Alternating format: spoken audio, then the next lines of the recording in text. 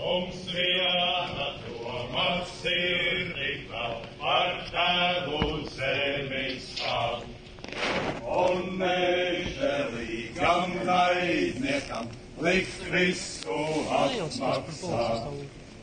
Mēs šauteni liksim tad liesmot un grāmatā.